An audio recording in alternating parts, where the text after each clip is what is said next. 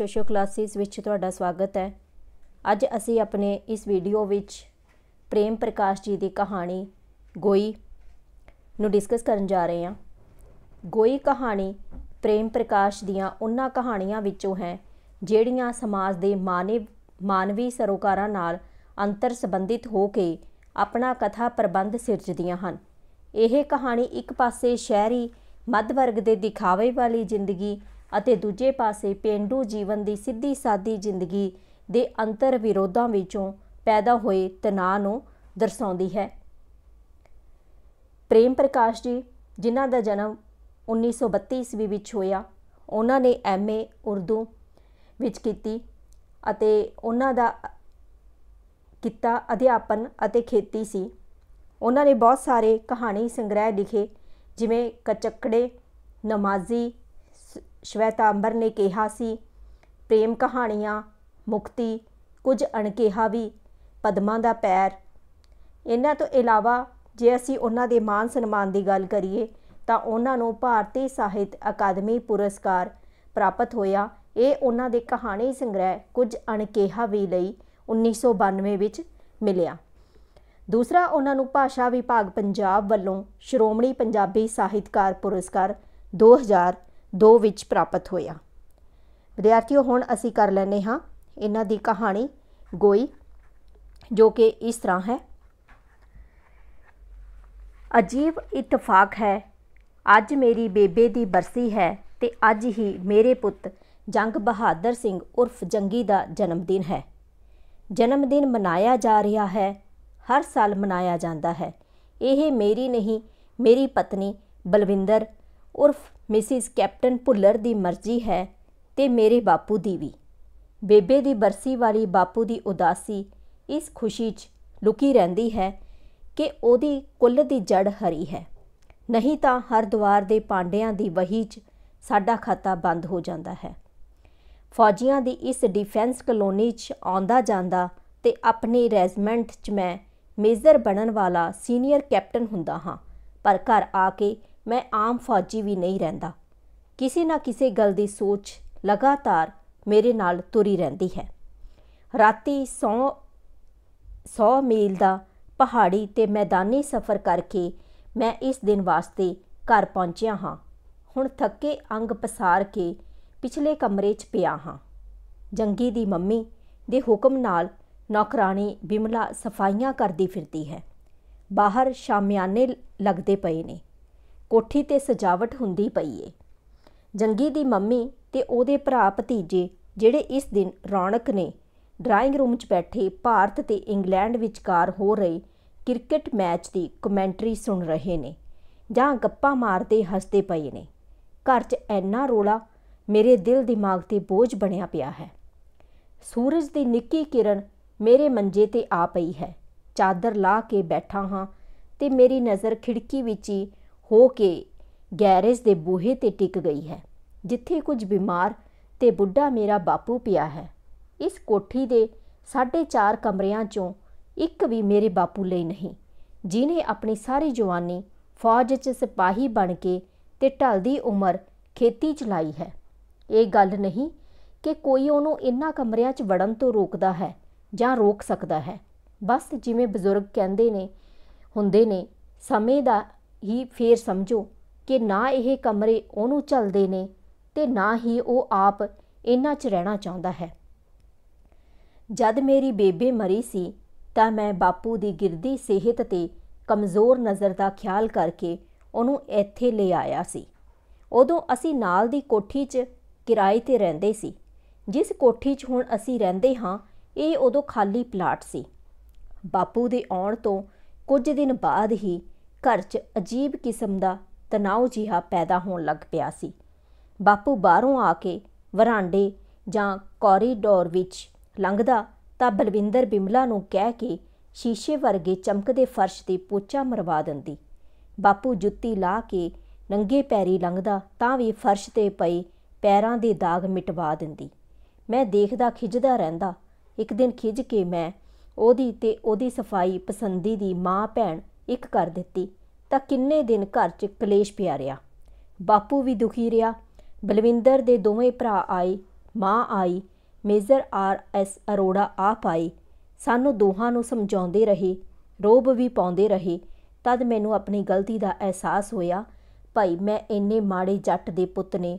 ਐਡੇ ਅਮੀਰ ਮੇਜਰ ਅਰੋੜਾ ਦੀ ਧੀ ਦਾ ਹੱਥ ਕਿਉਂ ਕਬੂਲ ਕੀਤਾ? ਉਦੋਂ ਤਾਂ ਮੈਂ ਆਪਣੇ ਅਫਸਰ ਦੇ ਘਰ ਜਾ ਕੇ ਬਲਵਿੰਦਰ ਨਾਲ ਦੋ ਗੱਲਾਂ ਕਰਕੇ ਹੀ ਕਮਲਾ ਹੋ ਗਿਆ ਸੀ। ਆਪਣੀ ਗਲਤੀ ਦਾ ਅਹਿਸਾਸ ਮੈਨੂੰ ਉਦੋਂ ਵੀ ਹੋਇਆ ਸੀ ਜਦ ਪਰਵਿੰਦਰ ਦੇ ਮਾਪਿਆਂ, ਰਿਸ਼ਤੇਦਾਰਾਂ ਦੇ ਗਹਿਣੇ ਕੱਪੜਿਆਂ ਦੀ ਠਾਠ ਤੇ ਉਹਨਾਂ ਦੇ ਦੇਣ ਲੈਣ ਦੇ ਰੀਤ ਰਿਵਾਜਾਂ ਨੇ ਮੇਰੇ ਪਿਓ ਦੀ ਗਰੀਬੀ ਨੰਗੀ ਕਰ ਦਿੱਤੀ ਸੀ। ਉਹਨਾਂ ਦੀਆਂ ਨਜ਼ਰਾਂ 'ਚ ਤਾਂ ਅਸੀਂ ਉਜੜ ਕਲਚਰ ਦੇ ਲੋਕ ਹੋ ਗਏ ਸੀ, ਜਿਨ੍ਹਾਂ ਨੂੰ ਵਿਆਹ ਦੀਆਂ ਰੀਤਾਂ ਦਾ ਤਾਂ ਕੀ, ਲਾਗਿਆਂ ਨੂੰ ਦੇਣ ਦਾ ਵੀ ਪਤਾ ਨਹੀਂ ਸੀ। ਵਿਆਹ 'ਚ ਜਿੱਥੇ ਦੇਣਾ ਮੇਰੇ ਬਾਪੂ ਨੂੰ ਬਣਦਾ ਸੀ, ਉੱਥੇ ਮੇਜਰ ਸਾਹਿਬ ਬਟੂਆ ਖੋਲ ਕੇ ਖਲੋ ਜਾਂਦੇ। ਜਿਵੇਂ ਉਹ ਕਾਲਾ ਹੋਵੇ, ਸਾਡੀ ਜਾਂ ਆਪਣੇ ਕੁੜਮਾਂ ਦੀ ਇੱਜ਼ਤ ਰੱਖਣ ਨੂੰ। ਤੇ ਬਾਪੂ ਇਸ ਤਰ੍ਹਾਂ ਹੱਥ ਜੋੜੀ ਖੜਾ ਰਹਿੰਦਾ, ਜਿਵੇਂ ਉਹ ਮੁੰਡੇ ਦਾ ਨਹੀਂ, ਧੀ ਦਾ ਬਾਪ ਹੋਵੇ। ਵਿਆਹ ਤੋਂ ਬਾਅਦ ਮੇਜਰ ਅਰੋੜਾ ਤੇ ਮਿਸਿਸ ਅਰੋੜਾ ਨੂੰ ਵੀ ਆਪਣੀ ਗਲਤੀ ਦਾ ਅਹਿਸਾਸ ਹੋਇਆ ਸੀ। ਮਿਸਿਸ ਅਰੋੜਾ ਤਾਂ ਕਈ ਦਿਨ ਰੋਂਦੀ ਰਹੀ ਸੀ ਪਰ ਉਹਨਾਂ ਇਹ ਸੋਚ ਕੇ ਸਬਰ ਕਰ ਲਿਆ ਸੀ, ਭਾਈ ਮੁੰਡਾ ਸੋਹਣਾ ਹੋਣਹਾਰ ਹੈ, ਸਾਊ ਹੈ, ਤਰੱਕੀ ਕਰ ਜਾਵੇਗਾ, ਕੁੜੀ ਨੂੰ ਸੁਖੀ ਰੱਖੇਗਾ, ਥੱਲੇ ਲੱਗ ਕੇ ਰਵੇਗਾ। ਆਖਰ ਉਹ ਗੱਲ ਹੋਈ, ਉਹਨਾਂ ਮੇਰਾ ਸਾਰਾ ਘਰ ਸਮਾਨ ਨਾਲ ਭਰ ਦਿੱਤਾ। ਹੁਣ ਵੀ ਇਸ ਘਰ 'ਚ ਮੇਰਾ, ਮੈਂ ਹੀ ਹਾਂ। ਇੱਕ ਪੁਰਾਣਾ ਟਰੰਕ ਹੈ, ਇੱਕ ਬਿਸਤਰਾ, ਜਾਂ ਸੰਦੂਕ 'ਚ ਪਈ ਬੇਬੇ ਦੇ ਗੋਦੜੇ। ਬਾਕੀ ਸਭ ਕੁਝ ਬਲਵਿੰਦਰ ਦਾ ਹੈ। ਜੰਗੀ ਦੇ ਪਹਿਲੇ ਜਨਮ ਦਿਨ ਤੇ ਤਾਂ ਉਹਨਾਂ ਇਹ ਪਲਾਟ ਖਰੀਦ ਕੇ ਬਲਵਿੰਦਰ ਦੇ ਨਾਂ ਕਰ ਦਿੱਤਾ ਸੀ। ਫਿਰ ਇਹ ਕੋਠੀ ਬਣੀ, ਫਿਰ ਇਹ ਕਾਲੀਨ, ਇਹ ਫਰਨੀਚਰ, ਕਿਚਨ ਦਾ ਸਮਾਨ, ਸਭ ਕੁਝ ਉਹਨਾਂ ਦਾ ਹੈ। ਪਿਛਲੇ ਕੁਝ ਵਰਿਆਂ ਤੋਂ ਮੇਰੀ ਤਨਖਾਹ ਜਾਂ ਤਾਂ ਖਾਦੀ ਪੀਤੀ ਜਾਂਦੀ ਹੈ ਜਾਂ ਜੇ ਕੋਈ ਚੀਜ਼ ਖਰੀਦ ਵੀ ਖਰੀਦੀ ਵੀ ਜਾਂਦੀ ਹੈ ਤਾਂ ਉਹ ਬਲਵਿੰਦਰ ਦੀ ਪਸੰਦ ਹੁੰਦੀ ਹੈ। ਮੇਰੀ ਸਿਰਫ ਹਾਂ ਹੁੰਦੀ ਹੈ। ਜੇ ਮੈਂ ਇਸ ਤਰ੍ਹਾਂ ਨਿੱਕੀ ਨਿੱਕੀ ਗੱਲ ਤੇ ਝਗੜਾ ਕਰਿਆ ਹੁੰਦਾ ਤਾਂ ਇਹ ਘਰ ਹੁਣ ਤੱਕ ਕੱਦ ਦਾ ਉੱਜੜ ਚੁੱਕਿਆ ਹੁੰਦਾ। ਹੈ ਜੀ, ਮੈਟਲ ਦੇ ਗੁਲਦਸਤੇ ਮੰਗਵਾ ਲਈਏ। ਇੱਕ ਡਜ਼ਨ। ਵੀਰ ਜੀ ਦੀ ਪ੍ਰਪੋਜ਼ਲ ਹੈ। ਉਹ ਰੇਟ ਤੈਅ ਕਰ ਆਏ ਨੇ। ਬਲਵਿੰਦਰ ਕਾਲੀ ਕਾਲੀ ਪੁੱਛਦੀ ਹੈ। ਮੰਗਵਾ ਲਓ। ਮੈਂ ਝੂਠਾ ਜਿਹਾ ਮੁਸਕਰਾ ਦਿੰਦਾ ਹਾਂ। ਜਦ ਸੌਦਾ ਹੋ ਚੁੱਕਾ ਹੈ, ਤਾਂ ਮੇਰੀ ਤਾਂ ਹਾਮੀ ਦੀ ਹੀ ਕਸਰ ਰਹਿ ਜਾਂਦੀ ਹੈ। ਬਾਪੂ ਜ਼ੋਰ ਦੀ ਖੰਗਿਆ ਹੈ। ਥੁੱਕ ਕੇ ਚੁੱਪ ਹੋ ਗਿਆ ਹੈ। ਬਾਪੂ ਗੈਰੇਜ 'ਚ ਇਸ ਲਈ ਵੀ ਪਿਆ ਹੈ ਕਿ ਉਹਨਾਂ ਇੱਥੇ ਆ ਕੇ ਇਸ ਪਲਾਟ ਤੇ ਆਪਣੀ ਪਸੰਦ ਦਾ ਜਿਹੜਾ ਘਰ ਬਣਾਇਆ ਸੀ, ਉਹ ਬਲਵਿੰਦਰ ਨੇ ਆਪਣੀ ਕੋਠੀ ਬਣਾਉਣ ਦੇ ਲੋਭ 'ਚ ਢਵਾ ਦਿੱਤਾ ਸੀ। ਉਹ ਬਾਪੂ ਦਾ ਦੂਜਾ ਉਜਾੜਾ ਸੀ। ਜਦ ਬਾਪੂ ਨੂੰ ਪਤਾ ਲੱਗਾ, ਭਈ ਇਹ ਪਲਾਟ ਉਹਦੀ ਨੂੰਹ ਦੇ ਨਾਂ ਹੈ, ਤਾਂ ਉਹ ਮੇਰੇ ਖਿਹੜੇ ਹੀ ਪੈ ਗਿਆ। ਭਈ ਉਹਦੇ 'ਚ ਬਣੇ ਡੰਗ ਟਪਾਊ ਕਮਰੇ ਦੇ ਨਾਲ ਛੰਨ ਪਾ ਕੇ ਉਹਨੂੰ ਉਹਦੇ 'ਚ ਰਹਿਣ ਦਿੱਤਾ ਜਾਵੇ।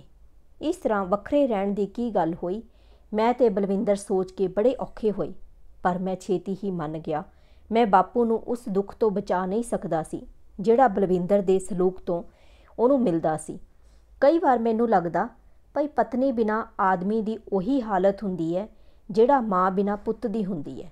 ਇਸ ਤਰ੍ਹਾਂ ਸਾਡੇ ਦੁੱਖ ਦੀ ਇੱਕ ਸਾਂਝ ਵੀ ਬਣਦੀ ਸੀ। ਇੱਕ ਦਿਨ ਇਸੇ ਵੇਗ 'ਚ ਉਹ ਜੋ ਕੁਝ ਆਖੀ ਗਿਆ, ਮੈਂ ਮੰਨੀ ਗਿਆ। ਬਾਪੂ ਨੇ ਕੁਝ ਦਿਨਾਂ 'ਚ ਹੀ ਪਿੰਡ ਦਾ ਅੱਧਾ ਕੋਠਾ ਉਧੇੜ ਕੇ ਗੱਡਾ ਭਰ ਲਿਆਂਦਾ ਤੇ ਦਿਨਾਂ 'ਚ ਵੀ, ਦਿਨਾਂ 'ਚ ਹੀ ਨਵਾਂ ਜਿਹਾ ਕੋਠਾ ਤੇ ਅੱਗੇ ਛੰਨ ਉਸਾਰ ਲਈ। ਪਿੰਡ ਵਾਲਾ ਨਲਕਾ ਪੁੱਟ ਕੇ ਗੱਡ ਲਿਆ। ਵਿਹੜੇ 'ਚ ਤੂਤ ਤੇ ਡੇਕ ਦੇ ਦਰਖਤ ਲਾ ਲਏ। ਪਿੰਡੋਂ ਇੱਕ ਝੋਟੀ ਲਿਆ ਕੇ ਬੰਨ ਲਈ। ਇਹ ਕੰਮ ਕਰਦੇ ਕਰਾਂਦੇ ਨੂੰ ਬਾਪੂ ਨੂੰ ਦੇਖ ਕੇ ਮੈਨੂੰ ਵੀ ਸੁੱਖ ਮਿਲਦਾ ਸੀ। ਮੈਨੂੰ ਇਹ ਇਤਿਹਾਸਿਕ ਗੱਲਾਂ ਚੇਤੇ ਆਉਂਦੀਆਂ ਸਨ। ਜਦ ਭੁੱਲਰਾਂ ਦਾ ਇੱਕ ਟੱਬਰ ਕਿਤੋਂ ਉੱਜੜ ਕੇ ਰਿਆਸਤ ਨਾਬੇ ਦੇ ਇੱਕ ਜਾਗੀਰਦਾਰ ਦੇ ਬੀੜ 'ਚ ਮਾਮਲਾ ਤਾਰਨ ਬਦਲੇ ਜ਼ਮੀਨ ਮਲ ਕੇ ਬਹਿ ਗਿਆ ਸੀ। ਉਹਦੇ ਜੀਆਂ ਨੇ ਟੱਕ ਕਿਕਰਾਂ ਤੇ ਫਲਾਈਆਂ ਵੱਢ ਕੇ ਧਰਤੀ ਕੱਢੀ ਸੀ ਤੇ ਕੁੱਲੀਆਂ ਪਾ ਕੇ ਪਿੰਡ ਬੰਨ ਲਿਆ ਸੀ ਪੁੱਲਰ ਮਾਜਰਾ। ਬਾਪੂ ਬੜਾ ਖੁਸ਼ ਰਹਿਣ ਲੱਗ ਪਿਆ ਸੀ। ਉਹ ਸਾਰਾ ਦਿਨ ਆਪਣਾ ਘਰ ਸਵਾਰਦਾ ਰਹਿੰਦਾ, ਝੋਟੀ ਖੋਲਦਾ, ਚਾਰਦਾ ਬੰਨਦਾ ਰਹਿੰਦਾ ਆਪਣੇ ਤੇ ਆਪਣੇ ਡੰਗਰਾਂ ਦੇ ਬਹਿਨ ਖੜਨ ਵਾਸਤੇ ਧੁੱਪ ਛਾਂ ਤੇ ਪੂਰੇ ਪੱਛੋਂ ਦਾ ਹਿਸਾਬ ਕਰਦਾ ਰਹਿੰਦਾ। ਉਹ ਆਪਣੇ ਘਰ 'ਚ ਜਿੱਥੇ ਮਰਜ਼ੀ, ਜਿਵੇਂ ਮਰਜ਼ੀ ਬੈਠੇ, ਭਾਵੇਂ ਨੰਗੇ ਪੈਰੀ ਫਿਰੇ, ਭਾਵੇਂ ਜੁੱਤੀ ਪਾ ਕੇ ਤੇ ਭਾਵੇਂ ਨੰਗੇ ਪਿੰਡੇ। ਉਹ ਮੰਜੇ ਤੇ ਬਹਿ ਕੇ ਰੋਟੀ ਖਾਂਦਾ, ਪਾਵੇ ਤੇ ਰੱਖ ਗੰਡਾ ਭੰਨਦਾ ਤੇ ਪਾਣੀ ਦਾ ਗਲਾਸ ਮੰਜੇ ਦੇ ਦੌਣ 'ਚ ਫਸਾ ਕੇ ਖੜਾ ਕਰ ਲੈਂਦਾ।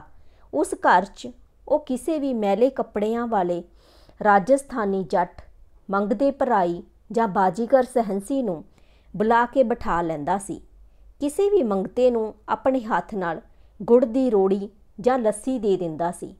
ਲੱਸੀ ਮੰਗਣ ਆਏ ਟਹਿਆਂ ਦੇ ਨਿਆਣਿਆਂ ਤੋਂ ਗੋਹਾ ਪਛਵਾਉਂਦਾ ਰਹਿੰਦਾ ਸੀ। ਸਵੇਰ ਸ਼ਾਮ ਦੁੱਧ ਦੀ ਬਾਲਟੀ ਫੜਾਉਣ ਵਾਸਤੇ ਬਲਵਿੰਦਰ ਜਾਂ ਬਿਮਲਾ ਨੂੰ ਬੜੇ ਮਾਣ ਨਾਲ ਹਾਕਾ ਮਾਰਦਾ ਸੀ। ਪਰ ਬਲਵਿੰਦਰ ਨੂੰ ਉਸ ਆਖਰੀ ਗੱਲ ਨੂੰ ਛੱਡ ਕੇ ਉਹਦਾ ਕੁਝ ਵੀ ਪਸੰਦ ਨਹੀਂ ਸੀ। ਉਹਦਾ ਖਿਆਲ ਸੀ ਕਿ ਬਾਪੂ ਸਾਰੀ ਡਿਫੈਂਸ ਕਲੋਨੀ ਵਾਸਤੇ ਮੱਖੀਆਂ ਮੱਛਰ ਪੈਦਾ ਕਰ ਰਿਹਾ ਹੈ।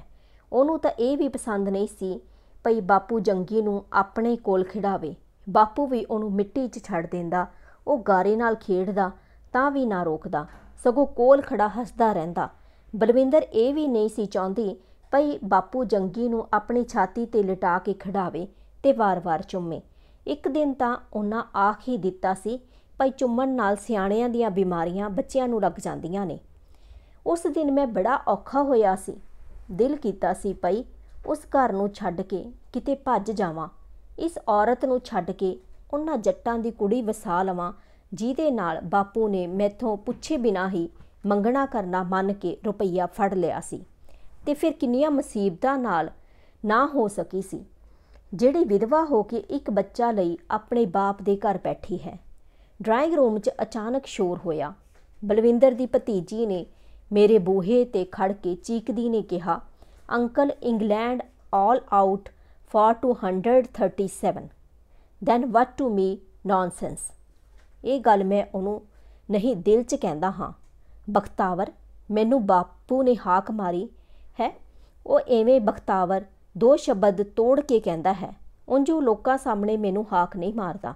ਗੱਲਾਂ ਕਰਦੇ ਜਦ ਕਦੇ ਬੋਲਣਾ ਹੀ ਪੈ ਜਾਵੇ ਤਾਂ ਮੈਨੂੰ ਤੁਸੀਂ ਕਹਿ ਜਾਂਦਾ ਹੈ ਤੇ ਮੈਨੂੰ ਬੜੀ ਤਕਲੀਫ ਹੁੰਦੀ ਹੈ।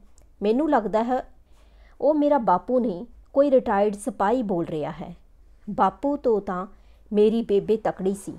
ਉਹ ਮੇਰੇ ਸਹੁਰਿਆਂ ਦੇ ਘਰ ਜਾ ਕੇ ਵੀ ਮੈਨੂੰ ਬਖਤੌਰਾ ਹੀ ਕਹਿੰਦੀ ਸੀ। ਉਹਨੂੰ ਸੀ ਮਾਣ ਪੁੱਤਰ ਜੰਮਣ ਦਾ ਤੇ ਪਾਲਣ ਦਾ। ਉਹਦੀ ਆਵਾਜ਼ ਵੀ ਗਰੀਬੜੀ ਜਿਹੀ ਨਹੀਂ ਸੀ। ਬਾਪੂ ਤਾਂ ਕਿੰਨੀ ਉਮਰ ਸਰ ਸਰ ਕਰਨ ਵਾਲਾ ਸਿਪਾਹੀ ਤੇ ਫਿਰ ਜੀ ਜੀ ਕਰਨ ਵਾਲਾ ਕਿਸਾਨ ਹੀ ਰਿਹਾ। ਜੂਨ ਕੱਟੀ ਹੀ ਹੋਈ, ਹੁਣ ਵੀ ਹੋਈ ਜਾਂਦੀ ਹੈ। ਉਸ ਘਰ 'ਚ ਜਿੱਥੇ ਜ਼ਿੰਦਗੀ ਦੇ ਹਰ ਨਿਆਮਤ ਨਿਆਮਤ ਲੱਭ ਸਕਦੀ ਹੈ, ਗੱਲ ਸੁਣੀ ਵੀ ਜਾਂਦੀ ਹੈ, ਪੁੱਗ ਵੀ ਸਕਦੀ ਹੈ। ਕੀ ਗੱਲ ਬਾਪੂ? ਮੈਂ ਉਹਦੇ ਮੰਜੇ ਕੋਲ ਪਈ ਕੁਰਸੀ ਤੇ ਬਹਿ ਜਾਂਦਾ ਹਾਂ। ਇਹ ਰੋਲਾ ਕਾਦਾ ਉਹ ਪਰਰਾ ਮੂੰਹ ਤੇ ਨੱਕ ਤੇ ਫੇਰਦਾ ਪੁੱਛਦਾ ਹੈ। ਮੈਚ ਹੁੰਦਾ ਕ੍ਰਿਕਟ ਦਾ। ਪਹਿਲਾਂ ਇੰਗਲੈਂਡ ਦਾ ਖਿਡਾਰੀ ਕੈਚ ਆਊਟ ਹੋ ਗਿਆ ਸੀ। ਉਹਦੇ ਗੇਂਦ ਗੇਂਦ ਪੁੱਛ ਹੋ ਗਈ ਸੀ। ਹੁਣ ਉਹ ਹਾਰਨ ਵਾਲੇ ਹੋ ਗਏ ਨੇ। ਉਹ ਹਾਰ ਜਾਣਗੇ। ਹਰਾ ਦਿਓ ਸਾਲਿਆਂ ਬਿੱਲਿਆਂ ਨੂੰ। ਬਾਪੂ ਦੀਆਂ ਧਸੀਆਂ ਅੱਖਾਂ ਹੱਸਦੀਆਂ ਨੇ। ਐਡੇ ਕੱਦ ਕਾਠ ਵਾਲੇ ਇਸ ਬੰਦੇ ਨੇ ਬੁਢੇਪੇ ਤੇ ਰੋਗ ਨੇ ਘਟ ਅਤੇ ਆਪਣੇ ਅਮੀਰ ਪੁੱਤ ਦੇ ਘਰ ਦੇ ਵਸੇਵੇ ਤੇ ਉਸ ਘਰ ਦੀ ਸੁੱਖ ਮੰਗਣ ਨੇ ਬਹੁਤਾ ਮਾਰਿਆ ਹੈ।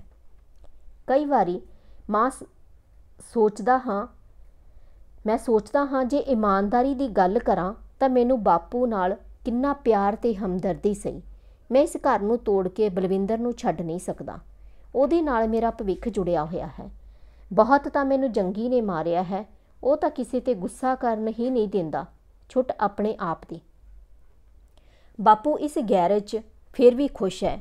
ਜਦ ਇਹ ਕੋਠੀ ਬਣਨ ਦੀ ਗੱਲ ਤੁਰੀ ਤਾਂ ਬਲਵਿੰਦਰ ਨੇ ਮੇਰੇ ਕੰਨ ਖਾ ਲਈ ਸੀ। ਰੋਟੀ ਖਾਣ ਵੇਲੇ ਕੀ, ਸੌਣ ਵੇਲੇ ਕੀ, ਜਿਵੇਂ ਉਹਨੂੰ ਸ਼ੁਦਾ ਜਿਹਾ ਹੋ ਗਿਆ ਸੀ। ਆਖਰ ਮੈਂ ਤਿਆਰ ਹੋ ਗਿਆ। ਇਹ ਸੋਚ ਕੇ ਭਾਈ ਪਿੰਡ ਦੀ ਜ਼ਮੀਨ ਮਸਾਂ ਸਾਲ ਭਰ ਦੇ ਦਾਣੇ ਦਿੰਦੀ ਹੈ। ਨਾ ਵਾਣ ਬੀਜਣ ਵਾਲਿਆਂ ਦਾ ਕੁਝ ਬਣਦਾ ਸਰਦਾ ਹੈ ਤੇ ਨਾ ਹੀ ਸਾਡਾ। ਫਿਰ ਟਰੈਕਟਰ ਵਾਲਾ ਚਾਚਾ ਕਈ ਗੇੜੇ ਮਾਰ ਗਿਆ ਸੀ ਇਸ ਹੁੜਕ 'ਚ। ਨਾਲੇ ਬਲਵਿੰਦਰ ਦੀ ਇਹ ਗੱਲ ਵੀ ਠੀਕ ਸੀ ਪਈ, ਪਿੰਡ ਦੀ ਜ਼ਮੀਨ ਨਾਲੋਂ ਸ਼ਹਿਰ ਦੀ ਕੋਠੀ ਦੀ ਕੀਮਤ ਤੇਜ਼ੀ ਨਾਲ ਵੱਧਦੀ ਹੈ। ਪਰ ਬਾਪੂ ਨੂੰ ਮਨਾਉਣਾ ਕਿੰਨਾ ਔਖਾ ਸੀ। ਜਦੋਂ ਕਹਿੰਦਾ, ਦੋ ਬਿੱਗੇ ਡੱਲੇ ਨਹੀਂ ਰੱਖ ਹੁੰਦੇ, ਤੈਥੋਂ ਰਹਿਣ ਦੇ, ਆਪਾਂ ਪਿੰਡ ਜਾਣ ਜੋਗੇ ਤਾਂ ਰਹੀਏ। ਅੰਗ ਸਾਖ ਕੀ ਕਹਿਣਗੇ, ਤਾਂ ਮੈਂ ਉਹਦੀ ਸਾਰੀ ਦਲੀਲ ਮੰਨ ਜਾਂਦਾ, ਪਰ ਬਲਵਿੰਦਰ ਨੂੰ ਕੌਣ ਸਮਝਾਉਂਦਾ? ਫਿਰ ਬਾਪੂ ਨੂੰ ਸਮਝਾਉਣਾ ਕਿੰਨਾ ਔਖਾ ਹੁੰਦਾ ਸੀ। ਇੱਕ ਵਾਰ ਤਾਂ ਉਹ ਮੇਰੀਆਂ ਗੱਲਾਂ ਸੁਣਦਾ ਸੁਣਦਾ ਰੋ ਹੀ ਪਿਆ ਸੀ। ਮੈਂ ਜਦੋਂ ਚੁੱਪ ਕਰ ਗਿਆ, ਫਿਰ ਕਿੰਨਾ ਹੀ ਚਿਰ ਚੁੱਪ ਰਿਹਾ। ਬਲਵਿੰਦਰ ਮੇਰੇ ਚੁੱਪ ਰਹਿਣ ਤੋਂ ਡਰਨ ਲੱਗ ਪਈ। ਫਿਰ ਤਾਂ ਇਸ ਤਰ੍ਹਾਂ ਲੱਗੇ ਜਿਵੇਂ ਸਾਡੇ ਤਿੰਨਾਂ ਦੇ ਅੰਦਰੋਂ ਗੱਲਾਂ ਮੁੱਕ ਗਈਆਂ ਹੋਣ ਜਾਂ ਗੱਲਾਂ ਦੀਆਂ ਗੱਠਾਂ ਵੱਜ ਗਈਆਂ ਹੋਣ। ਹੁਣ ਪਲ-ਪਲ ਇਹੀ ਰਹਿੰਦਾ ਸੀ ਕਿ ਦੇਖੀਏ ਕੌਣ ਫਿਸਦਾ ਹੈ। ਅੰਤ ਨੂੰ ਬਾਪੂ ਫਿਸ ਗਿਆ। ਸ਼ਾਇਦ ਉਸ ਤੋਂ ਮੇਰੀ ਉਦਾਸੀ ਨਾ ਚੱਲੀ ਗਈ। ਮੈਂ ਉਹਦਾ ਮਾਂ ਬਾਹਰਾ ਪੁੱਤ ਹਾਂ ਨਾ। ਮੈਨੂੰ ਐਵੇਂ ਲੱਗਿਆ ਸੀ। ਫਿਰ ਉਹ ਆਪ ਹੀ ਜ਼ਮੀਨ ਵੇਚ ਕੇ ਕੋਠੀ ਬਣਾਉਣ ਦੀਆਂ ਸਲਾਹਾਂ ਦੇਣ ਲੱਗ ਪਿਆ। ਕਈ ਦਲੀਲਾਂ ਤੇ ਉਹਦੀਆਂ ਬਲਵਿੰਦਰ ਨਾਲ ਵੀ ਰਲਦੀਆਂ, ਪਰ ਮੈਂ ਫਿਰ ਵੀ ਫੈਸਲਾ ਨਾ ਕਰ ਸਕਿਆ। ਇੱਕ ਦਿਨ ਫੈਸਲਾ ਹੋ ਹੀ ਗਿਆ। ਜ਼ਮੀਨ ਦੀ ਰਜਿਸਟਰੀ ਕਰਕੇ ਬਾਪੂ ਰੁਪਈਏ ਪੱਲੇ ਪਵਾ ਕੇ ਆ ਗਿਆ। ਫਿਰ ਝੋਟੀ ਵਿਕ ਗਈ। ਛੰਨ ਤੇ ਕੋਠਾ ਢਾ ਦਿੱਤਾ ਗਿਆ। ਨਵੀਂ ਕੋਠੀ ਉਸਰਨ ਲੱਗੀ। ਬਾਪੂ ਆਪ ਉਹਦੇ ਕੰਮਾਂ 'ਚ ਉਲਝਿਆ ਰਹਿੰਦਾ। ਕੋਠੀ ਤਿਆਰ ਹੋ ਗਈ ਤਾਂ ਬਾਪੂ ਵਾਸਤੇ ਫਿਰ ਮੁਸ਼ਕਲਾਂ ਖੜੀਆਂ ਹੋ ਗਈਆਂ। ਉਹ ਕਿਹੜੇ ਕਮਰੇ 'ਚ ਰਵੇ? ਕਿੱਥੇ ਬੈਠੇ ਉੱਠੇ? ਉਹ ਥਾਂ ਕਿਹੜੀ ਹੋਵੇ ਜਿੱਥੇ ਬਲਵਿੰਦਰ ਦਾ ਦਖਲ ਨਾ ਹੋਵੇ? ਉਹ ਸੀ ਗੈਰੇਜ, ਜਿੱਥੇ ਖੜੀ ਕਰਨ ਵਾਸਤੇ ਸਾਡੇ ਕੋਲ ਹਾਲੇ ਕਾਰ ਨਹੀਂ ਸੀ। ਇੱਥੇ ਹੁਣ ਬਾਪੂ ਖੁਸ਼ ਰਹਿੰਦਾ ਹੈ। ਉਹ ਆਪਣੇ ਮੰਜੇ ਕੋਲ ਸਵਾਹ ਦਾ ਤਸਲਾ ਰੱਖਦਾ ਹੈ, ਆਪਣੀ ਮਰਜ਼ੀ ਨਾਲ ਖੰਗਦਾ ਥੁੱਕਦਾ ਹੈ, ਆਪਣੇ ਮੋਢੇ ਤੇ ਰੱਖੇ ਪਰਨੇ ਜਾਂ ਚਾਦਰੇ ਨਾਲ ਨੱਕ ਪੂੰਝ ਲੈਂਦਾ ਹੈ। ਚਾਹੇ ਤਾਂ ਬਿਸਤਰਾ ਵਲੇਟ ਦੇਵੇ, ਚਾਹੇ ਤਾਂ ਖੋਲ ਲਵੇ, ਕੱਪੜੇ ਚਾਹੇ ਆਪਣੇ ਬਿਲੰਗ ਤੇ ਟੰਗੇ ਤੇ ਭਾਵੇਂ ਕੁਰਸੀ ਤੇ ਸੁੱਟੀ ਰੱਖੇ ਉਹਨੂੰ ਕੋਈ ਪੁੱਛਣ ਟੋਕਣ ਵਾਲਾ ਨਹੀਂ। ਇਸ ਤਰ੍ਹਾਂ ਰਹਿਣ ਦੇ ਸੁੱਖ ਨੂੰ ਬਲਵਿੰਦਰ ਨਹੀਂ ਸਮਝਦੀ। ਮੇਰੇ ਉਹ ਦੋਸਤ ਸਮਝਦੇ ਨੇ, ਜਿਨ੍ਹਾਂ ਦੇ ਘਰ ਇਹੋ ਜਿਹੇ ਬਾਪੂ ਨੇ। ਜਦ ਉਹ ਵੀ ਆਉਂਦੇ ਨੇ, ਬਾਪੂ ਨੂੰ ਜ਼ਰੂਰ ਮਿਲਦੇ ਨੇ। ਜਦ ਬਾਪੂ ਛੰਨ ਹੇਠਾਂ ਬੈੰਦਾ ਸੀ, ਉਹ ਤਾਂ ਵੀ ਉਹਦੇ ਕੋਲ ਬੈਠੇ ਰਹਿੰਦੇ ਸੀ। ਮੱਝ ਦੇ ਗੋਹੇ ਤੇ ਮੁਤਰਾਲ ਦੀ ਹਵਾੜ 'ਚ ਉਹ ਬਾਪੂ ਨਾਲ दारू ਕੱਢਣ, ਪੀਣ, ਪਿੰਡ ਦੀਆਂ ਲੜਾਈਆਂ, ਚੀਜ਼ਾਂ ਦੀਆਂ ਗੱਲਾਂ ਕਰਦੇ ਰਹਿੰਦੇ। ਬਲਵਿੰਦਰ ਉਹਨਾਂ ਲੋਕਾਂ ਨੂੰ ਅਨਪੜ ਸਮਝਦੀ ਸੀ। ਬਾਪੂ, ਅੱਜ ਕੀ ਖਾਣ ਨੂੰ ਚਿੱਤ ਕਰਦਾ ਹੈ? ਮੈਂ ਝਿਜਕਦਾ ਪੁੱਛਦਾ ਹਾਂ। ਅੱਜ ਉਹਦੇ ਪੋਤੇ ਦਾ ਜਨਮ ਦਿਨ ਹੈ।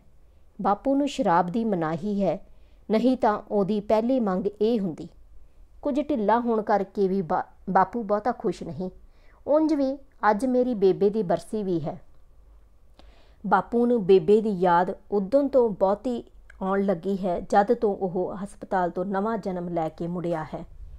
ਇੰਨੀ ਕੁ ਗੋਈ ਬਣਾ ਦੇ, ਮੇਰਾ ਸਾਹ ਵੀ ਕੁਛ ਅੜਦਾ ਹੈ। ਬਾਪੂ ਫਰਮਾਇਸ਼ ਪਾਉਂਦਾ ਹੈ। ਇਹ ਨਿਗੋਣੀ ਜਿਹੀ ਚੀਜ਼ ਦੀ ਲਾਲਸਾ ਬਾਪੂ ਨੂੰ ਪਤਾ ਨਹੀਂ ਕਿਉਂ ਹੈ। ਕਦ ਤੋਂ ਹੈ। ਪਹਿਲਾਂ ਪਹਿਲ ਜਦ ਉਸਨੇ ਫਰਮਾਇਸ਼ ਪਾਈ ਸੀ, ਤਾਂ ਮੈਂ ਬਲਵਿੰਦਰ ਨੂੰ ਸਮਝਾਇਆ ਸੀ, ਭਈ ਗੋਈ ਪਤਲੇ ਜੇ ਕੜਾ ਨੂੰ ਕਹਿੰਦੇ ਨੇ, ਭਾਵੇਂ ਗੁੜ ਸ਼ੱਕਰ ਦਾ ਹੋਵੇ, ਪਰ ਉਸ ਨੂੰ ਜਾਚ ਹੀ ਨਹੀਂ ਸੀ। ਇੱਕ ਵਾਰ ਤਾਂ ਇਸੇ ਗੋਈ ਪਿੱਛੇ ਮੈਂ ਡਾਈਨਿੰਗ ਟੇਬਲ ਤੇ ਡੋਂਗੇ ਤੇ ਪਲੇਟਾਂ ਚੁੱਕ ਕੇ ਫਰਸ਼ ਤੇ ਮਾਰ ਦਿੱਤੀਆਂ ਸਨ। ਉਸ ਮੂਰਖ ਤੋਂ ਕਹਿ ਹੋ ਗਿਆ ਸੀ, ਮੈਨੂੰ ਕੀ ਪਤਾ, ਤੁਹਾਡੇ ਜੱਟਾਂ ਬੂਟਾਂ ਦਾ ਇਹੋ ਜਿਹੇ ਖਾਣੇ ਹੁੰਦੇ ਨੇ। ਇਹ ਗੱਲ ਕਹਿ ਕੇ ਉਹਨੇ ਆਪਣੇ ਚਿਹਰੇ ਤੇ ਮੁਸਕਰਾਹਟ ਲਿਆਉਣ ਦੀ ਕੋਸ਼ਿਸ਼ ਵੀ ਕੀਤੀ ਸੀ। ਦੋ ਦਿਨਾਂ ਬਾਅਦ ਲੜਾਈ ਮੁੱਕ ਗਈ ਤਾਂ ਬਲਵਿੰਦਰ ਉਸ ਗੱਲ ਦਾ ਚੇਤਾ ਮੈਨੂੰ ਬਾਪੂ ਡਿਸ਼ ਕਹਿ ਕੇ ਕਰਾਂਦੀ ਰਹੀ ਸੀ। ਗੋਈ ਬਿਮਲਾ ਵੀ ਬਣਾ ਸਕਦੀ ਹੈ? ਪਰ ਬਣਾਉਂਦਾ ਅਕਸਰ ਮੈਂ ਹੀ ਹਾਂ। ਇਸ ਲਈ ਵੀ ਭਾਈ ਉਹ ਮੇਰਾ ਬਾਪੂ ਹੈ, ਪਤਨੀ ਬਾਹਰਾ। ਉਂਝ ਦਿਲ ਦੀ ਬਲਵਿੰਦਰ ਵੀ ਮਾੜੀ ਨਹੀਂ, ਉਹ ਤਾਂ ਚਾਹੁੰਦੀ ਹੈ ਭਈ ਬਾਪੂ ਚੰਗਾ ਖਾਵੇ, ਚੰਗਾ ਪੀਵੇ, ਹੰਡਾਵੇ, ਚੰਗਾ ਬੋਲੇ, ਗੁਰਦੁਆਰੇ ਮੱਥਾ ਟੇਕੇ ਤੇ ਵਾਹਿਗੁਰੂ ਵਾਹਿਗੁਰੂ ਕਰਿਆ ਕਰੇ। ਜਿਸ ਤਰ੍ਹਾਂ ਉਹਦੇ ਦਾਦਾ ਜੀ ਚਿੱਟੇ ਦੁੱਧ ਵਰਗੇ ਕੱਪੜੇ ਪਾ ਕੇ ਬੈਠਦੇ ਨੇ। ਡਾਈਨਿੰਗ ਟੇਬਲ ਤੇ ਬਹਿ ਕੇ ਖਾਂਦੇ ਨੇ ਤੇ ਸ਼ਾਮ ਨੂੰ ਘਰ ਆਏ ਪੁੱਤਰਾ, ਪੁੱਤਰਿਆਂ ਨਾਲ ਰਾਜਨੀਤੀ ਦੀਆਂ ਗੱਲਾਂ ਕਰਦੇ ਨੇ। ਉਹ ਨਹੀਂ ਸਮਝਦੀ ਪਈ। ਬਾਪੂ ਉਸ ਮਿੱਟੀ ਦਾ ਜੰਮਿਆ ਪਲਿਆ ਹੈ, ਜਿੱਥੇ ਖੇਤ ਨੇ, ਪਿਪਲਾ ਬਰੋਟਿਆਂ ਵਾਲੇ ਟੋਬੇ ਨੇ, ਵਿਹੜਿਆਂ 'ਚ ਮਾਲ ਡੰਗਰ ਨੇ, ਹਰ ਬਦਲਦੇ ਮੌਸਮ ਨਾਲ ਧਰਤੀ ਮਾਤਾ ਆਪਣੀ ਸੌਗਾਤ ਦਿੰਦੀ ਹੈ। ਕੁਦਰਤੀ ਦੀ, ਕੁਦਰਤੀ ਕਰੋਪੀ ਨਾਲ ਲੜਨਾ ਪੈਂਦਾ ਹੈ। ਇਹ ਝੋਰਾ ਬਾਪੂ ਦਾ ਹੀ ਨਹੀਂ, ਕੁਝ ਮੇਰਾ ਵੀ ਹੈ। ਜਦ ਜ਼ਮੀਨ ਵੇਚੀ ਸੀ, ਤਾਂ ਮੈਨੂੰ ਲੱਗਿਆ ਸੀ ਭਈ, ਅਸੀਂ ਵੀ ਉਹ ਲੋਕ ਹੋ ਗਏ ਹਾਂ, ਜਿਨ੍ਹਾਂ ਦਾ ਪਿੱਛਾ ਕੋਈ ਨਹੀਂ ਹੁੰਦਾ। ਜਿਨ੍ਹਾਂ ਨੂੰ ਅਖਬਾਰਾਂ ਵਾਲੇ ਤਨਖਾਹਾਂ ਤੇ ਜੋਣ ਵਾਲੇ ਆਖਦੇ ਨੇ। ਪਿੱਛੇ ਜਿਹੇ ਟੀਵੀ ਤੇ ਹਰਿਆਣੇ ਦੇ ਇੱਕ ਪਿੰਡ ਬਾਰੇ ਸਰਕਾਰ ਦੀ ਨਿੱਕੀ ਡਾਕੂਮੈਂਟਰੀ ਫਿਲਮ ਆਈ ਸੀ, ਚੌਮਾਸਾ। ਉਹਦਾ ਇੱਕ ਸੀਨ ਵੇਖਦਿਆਂ ਮੈਂ ਸੋਫੇ ਤੇ ਹੀ ਟੱਪ ਗਿਆ ਸੀ। ਸੌਣ ਦੀ ਹਵਾ ਜ਼ੋਰ ਦੀ ਵਗਦੀ ਹੈ। ਰੁੱਖ, ਬੂਟੇ, ਪੈਲੀਆਂ, ਦੋਹਰੀਆਂ, ਚੌਰੀਆਂ ਹੁੰਦੀਆਂ ਜਾਂਦੀਆਂ ਨੇ। ਖੇਤਾਂ 'ਚ ਗੋਡੀ ਕਰਦੇ ਲੋਕ ਉੱਠ-ਉੱਠ ਅਸਮਾਨ ਵੱਲ ਤੱਕਦੇ ਨੇ। ਜਦ ਪੂਰੇ ਵੱਲ ਬਿਜਲੀ ਲਿਸ਼ਕਦੀ ਹੈ ਤੇ ਪਹਾੜਾਂ ਵੱਲੋਂ ਕਾਲੀ ਭੂਰੀ ਘਟਾ ਘੁੰਮਦੀ ਕਮਾਉਂਦੀ ਆਉਂਦੀ ਹੈ। ਜਦੋਂ ਮੋਟਾ-ਮੋਟਾ ਕਣਾ ਪੈਣ ਲੱਗ ਪੈਂਦਾ ਹੈ, ਕਿਸਾਨ ਸੰਦ ਸਾਂਭ ਕੇ ਪਿੰਡ ਵੱਲ ਨੂੰ ਤੁਰਦੇ ਨੇ ਤੇ ਵੱਡਾਂ 'ਚ ਚੁਗਦੇ ਡੰਗਰ ਕੰਨ ਚੁੱਕ-ਚੁੱਕ ਚਾਰੇ ਪਾਸੇ ਵੇਖਦੇ ਨੇ ਤੇ ਟਪੂਸੀਆਂ ਮਾਰ ਪੂਛਾਂ ਚੁੱਕ-ਚੁੱਕ ਕੇ ਪਿੱਠ ਨੂੰ ਲਾ ਕੇ ਹਿਰਨਾ ਵਾਂਗੂ ਭੱਜ ਪੈਂਦੇ ਨੇ।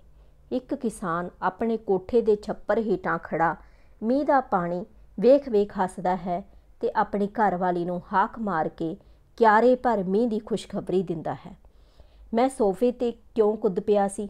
ਬਲਵਿੰਦਰ ਨਹੀਂ ਜਾਣਦੀ, ਪਰ ਉਹਨੇ ਜਾਂ ਹਾਲਾਤ ਨੇ ਮੈਨੂੰ ਇੰਨੇ ਜੋਗਾ ਹੀ ਕਰ ਦਿੱਤਾ ਸੀ। ਬਾਪੂ ਆਪਣੀ ਪਿੱਠ ਪਲੋਸਦਾ ਹੈ, ਮੇਰੇ ਪੁੱਛਣ ਤੇ ਦੱਸਦਾ ਹੈ, ਭਾਈ, ਉਸ ਦੇ ਕੱਬੇ 'ਚ ਦਰਦ ਹੁੰਦਾ ਹੈ। ਮੈਂ ਉਹਦੇ ਸਾਹਮਣੇ ਵਾਲੀ ਕੰਧ ਦੀ ਬਿੰਡਲ ਤੋਂ ਬਾਮ ਦੀ ਸ਼ੀਸ਼ੀ ਚੁੱਕ ਕੇ ਮਾਲਿਸ਼ ਕਰਦਾ ਹਾਂ। ਸਾਰੀ ਪਿੱਠ ਦਾ ਮਾਸ ਲਮਕਵਾ ਤੇ ਖੁਰਦਰਾ ਹੈ। ਇਸ ਪਿੱਠ ਤੇ ਕਿੰਨੀ ਉਮਰ ਤੱਕ ਪਿੱਠੂ ਰਿਆ ਤੇ ਫਿਰ ਬੋਰੀਆਂ। ਭਰਾ ਜੀ, ਜਰਾ ਬਾਹਰ ਆਇਓ। ਮੇਰਾ ਛੋਟਾ ਸਾਲਾ ਬੁਲਾਉਂਦਾ ਹੈ। ਉਹਦੇ ਨਾਲ ਹੋਟਲ ਦਾ ਨੌਕਰ ਖੜਾ ਹੈ। ਮੈਂ ਆਪਣੀ ਮਦਦ ਲਈ ਬਲਵਿੰਦਰ ਨੂੰ ਆਵਾਜ਼ ਦਿੰਦਾ ਹਾਂ। ਉਹ ਮੇਰੇ ਨਾਲੋਂ ਕਿਤੇ ਛੇਤੀ ਗਿਣਤੀ ਮਿੰਤੀ ਕਰ ਲੈਂਦੀ ਹੈ। ਕਿੰਨੇ ਕਿਸਮ ਦੀ ਮੀਟ, ਮੱਛੀ, ਪਲਾਓ, ਜ਼ਰਦਾ ਅਤੇ ਡਿਸ਼ਾਂ ਬਾਪੂ ਗੋਈ ਮੰਗਦਾ ਹੈ। ਬਸ ਠੀਕ ਹੈ ਮੈਂ ਉਹਨਾਂ ਦੀਆਂ ਸਾਰੀਆਂ ਗੱਲਾਂ ਤੇ ਹਾਂ ਕਰ ਦਿੰਦਾ ਹਾਂ ਤੇ ਖੈੜਾ ਛੁਡਾ ਕੇ ਰਸੋਈ 'ਚ ਆ ਜਾਂਦਾ ਹਾਂ। ਬਾਪੂ ਗੋਈ ਮੰਗਦਾ ਹੈ। ਉਸ ਦੀ ਇਹ ਮੰਗ ਉਸੇ ਤਰ੍ਹਾਂ ਦੀ ਹੈ ਜਿਵੇਂ ਅਸੀਂ ਸ਼ਹਿਰ ਆ ਕੇ ਜਲੇਬੀਆਂ ਜਾਂ ਬੱਤਾ ਮੰਗਦੇ ਹੁੰਦੇ ਸੀ। ਜਿਵੇਂ ਕੋਈ ਚੀਜ਼ ਮਨ 'ਚ ਹੀ ਰਹੀ ਪਈ ਹੋਵੇ। ਫ਼ਰਕ ਸਿਰਫ ਇਹ ਹੈ ਭਈ ਅਸੀਂ ਜਿੱਦ ਨਾਲ ਮੰਗਦੇ ਸੀ ਤੇ ਬਾਪੂ ਫਰਮਾਇਸ਼ ਪਾਉਂਦਾ ਹੈ। ਡਰਾਇੰਗ ਰੂਮ 'ਚ ਫਿਰ ਸ਼ੋਰ ਮੱਚਿਆ ਹੈ। ਰੇਡੀਓ ਦੀ ਆਵਾਜ਼ ਦੇ ਨਾਲ ਹਾਸੇ ਦਾ ਰੌਲਾ ਵੀ ਹੈ। ਸ਼ਾਇਦ ਕਿਸੇ ਭਾਰਤੀ ਖਿਡਾਰੀ ਨੇ ਛਿੱਕਾ ਮਾਰਿਆ ਹੈ ਜਾਂ ਸੈਂਚਰੀ ਦਾ ਨਵਾਂ ਰਿਕਾਰਡ ਬਣਾਇਆ ਹੈ ਜਾਂ ਕਿਸੇ ਨੇ ਜ਼ੋਰਦਾਰ ਚੁਟਕਲਾ ਸੁਣਾਇਆ ਹੈ। ਮੈਂ ਘੀ 'ਚ ਆਟਾ ਭੁੰਨ ਰਿਹਾ ਹਾਂ, ਹਾਸਾ ਹਾਲੇ ਵੀ ਜਾਰੀ ਹੈ। ਕਦੇ-ਕਦੇ ਚੁਟਕਲਾ ਸੁਣਾਉਣ ਵਾਲਾ ਜਾਂ ਸੁਣ ਕੇ ਹੱਸਣ ਵਾਲਾ ਬੰਦਾ ਕਿੰਨਾ ਬੇਰਹਿਮ ਹੋ ਜਾਂਦਾ ਹੈ। ਉਹਦੀ ਇੱਕ ਮਿਸਾਲ ਬਲਵਿੰਦਰ ਵੀ ਹੈ। ਜਿਹਦੇ ਕਾਰਨ ਸ਼ਾਇਦ ਉਹਦੀ ਮਾੜੀ ਨੀਤ ਨਹੀਂ, ਬੇਸਮਝੀ ਹੈ। ਉਦੋਂ ਬਾਪੂ ਬਹੁਤ ਬਿਮਾਰ ਹੋ ਗਿਆ ਸੀ। ਅਸੀਂ ਉਹਨੂੰ ਗੈਰੇਜ ਚੁੱਕ ਇੱਕ ਕਮਰੇ 'ਚ ਲੈ ਆਏ ਸੀ। ਬਲਵਿੰਦਰ ਡਰਦੀ ਸੀ, ਭਾਈ ਉਹਦੇ ਰਿਸ਼ਤੇਦਾਰ ਖਬਰ ਨੂੰ ਆਉਣਗੇ ਤਾਂ ਕੀ ਆਖਣਗੇ ਭਾਈ ਬੁੱਢਾ ਗੈਰੇਜ 'ਚ ਪਿਆ ਹੈ? ਉਸੇ ਸ਼ਾਮ ਬਾਪੂ ਦੇ ਚਿਹਰੇ ਤੇ ਕਦੇ ਰੱਤਾ ਕੋ ਸ਼ਾਂਤੀ ਹੁੰਦੀ ਤੇ ਕਦੇ ਅਚਾਨਕ ਮੁਰਦਨੀ ਛਾ ਜਾਂਦੀ। ਮੈਨੂੰ ਲੱਗਿਆ ਹੁਣ ਹਾਲਤ ਚੰਗੀ ਨਹੀਂ। ਅਸੀਂ ਸ਼ਾਮ ਨੂੰ ਹੀ ਮਿਲਟਰੀ ਹਸਪਤਾਲ 'ਚ ਲੈ ਗਏ। ਰਾਤ ਦੇ 4 ਕੁ ਵਜੇ ਬਾਪੂ ਨੇ ਸਾਨੂੰ ਕੋਲ ਨੂੰ ਹੋਣ ਦੀ ਸਹਿਨਤ ਕੀਤੀ ਤੇ ਵਸੀਅਤ ਵਰਗੀ ਬੇਨਤੀ ਕੀਤੀ। ਮੈਨੂੰ ਪਿੰਡ ਆਲੀਆਂ ਮੜੀਆਂ 'ਚ ਲਿਜਾਇਓ। ਪਰ ਡਾਕਟਰ ਗਰੇਵਾਲ ਨੇ ਉਹਨੂੰ ਰਾਤੋਂ ਰਾਤ ਠੀਕ ਕਰ ਦਿੱਤਾ। ਉਹਦੇ ਸਰੀਰ ਦਾ ਪਾਣੀ ਘਟ ਗਿਆ ਸੀ। ਦੂਜੇ ਦਿਨ ਸ਼ਾਮ ਨੂੰ ਅਸੀਂ ਘਰ ਘਰ ਲੈ ਆਏ। ਦੋ ਦਿਨਾਂ ਬਾਅਦ ਬਾਪੂ ਤੁਰਨ ਫਿਰਨ ਲੱਗ ਪਿਆ ਤੇ ਇੱਕ ਦਿਨ ਚੁੱਪ ਕਰਕੇ ਆਪਣਾ ਸਮਾਨ ਚੁੱਕ ਕੇ ਗੈਰੇਜ 'ਚ ਜਾ ਵੜਿਆ। ਸ਼ਾਇਦ ਇਸ ਡਰੋਂ ਪਈ ਬਲਵਿੰਦਰ ਦੇ ਰਿਸ਼ਤੇਦਾਰ ਦੇਖਣਗੇ ਤਾਂ ਕੀ ਕਹਿਣਗੇ? ਕੁਝ ਦਿਨਾਂ ਬਾਅਦ ਸਭ ਕੁਝ ਨਾਰਮਲ ਹੋ ਗਿਆ। ਤਾਂ ਇੱਕ ਸ਼ਾਮ ਬਲਵਿੰਦਰ ਦੀਆਂ ਵਾਲ ਕਟੀਆਂ, ਸਹੇਲੀਆਂ ਆਈਆਂ। ਕਾਫੀ ਸਿਪ ਕਰਦਿਆਂ ਬਲਵਿੰਦਰ ਨੇ ਬਾਪੂ ਦੀ ਮੜੀਆਂ ਵਾਲੀ ਗੱਲ ਚੁਟਕਲਾ ਬਣਾ ਕੇ ਸੁਣਾ ਦਿੱਤੀ। ਉਹ ਸਭ ਜ਼ੋਰ ਨਾਲ ਹੱਸੀਆਂ। ਪਈ ਮਰਨ ਵਾਲੇ ਨੂੰ ਕੀ ਪਤਾ ਪਈ ਉਹਨੂੰ ਕਿੱਥੇ ਲਿਜਾਇਆ ਜਾਵੇਗਾ ਤੇ ਕਿੱਥੇ ਨਹੀਂ। ਫਿਰ ਹਰੇਕ ਔਰਤ ਨੇ ਆਪਣੀ ਸੱਸ ਜਾਂ ਸਹੁਰੇ ਦਾ ਕੋਈ ਨਾ ਕੋਈ ਚੁਟਕਲਾ ਸੁਣਾਇਆ। ਜਵਾਬ 'ਚ ਸਾਰੀਆਂ ਹੱਸੀਆਂ। ਗੋਈ ਤਿਆਰ ਹੋ ਗਈ ਹੈ। ਠੰਡੀ ਹੋਣ ਦੀ ਦੇਰ ਹੈ। ਡਰਾਇੰਗ ਰੂਮ ਵਿੱਚ ਫਿਰ ਹਾਸੇ ਛੁੱਟੇ ਨੇ। ਹੁਣ ਕਮੈਂਟਰੀ ਲੰਚ ਬ੍ਰੇਕ ਕਰਕੇ ਬੰਦ ਹੈ ਸ਼ਾਇਦ। ਹੁਣ ਤਾਂ ਜ਼ਰੂਰ ਕਿਸੇ ਨਾ ਕਿਸੇ ਨੇ ਬੇਵਕੂਫੀ ਦੀ ਹੱਦ ਤੱਕ ਕੋਈ ਚੁਟਕਲਾ ਸੁਣਾਇਆ ਹੋਵੇਗਾ। ਸ਼ਾਇਦ ਬਲਵਿੰਦਰ ਨੇ ਹੀ ਉਹੀ ਚੁਟਕਲਾ ਦੁਹਰਾਇਆ ਹੋਵੇ ਬਾਪੂ ਵਾਲਾ। ਮੈਂ ਉਹਨਾਂ ਨੇ ਰੰਗ 'ਚ ਭੰਗ ਨਹੀਂ ਪਾਉਂਦਾ। ਗੋਈ ਦੀ ਬਾਟੀ ਚੁੱਕ ਕੇ ਬਾਪੂ ਕੋਲ ਚਲਿਆ ਜਾਂਦਾ ਹਾਂ। ਹਾਂਜੀ ਸਟੂਡੈਂਟਸ ਇਹ ਸੀ ਗੋਈ ਕਹਾਣੀ ਜੋ ਕਿ ਪ੍ਰੇਮ ਪ੍ਰਕਾਸ਼ ਜੀ ਦੁਆਰਾ ਲਿਖੀ ਗਈ ਹੈ। ਅਸੀਂ ਆਪਣੇ ਅਗਲੇ ਵੀਡੀਓ ਵਿੱਚ ਫਿਰ ਮਿਲਾਂਗੇ। ਤਦ ਤੱਕ ਧੰਨਵਾਦ। ਸ਼ੁਕਰੀਆ।